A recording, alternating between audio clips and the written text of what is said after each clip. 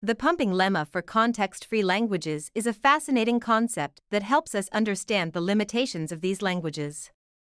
It states that for any context free language, there exists a pumping length, p, such that any string longer than p can be divided into five parts u, v, x, y, and z. The key is that the strings uv caret n x y caret n z must also belong to the same language for any n greater than or equal to 0. This means we can pump the v and y parts, repeating them any number of times, and still produce valid strings in the language.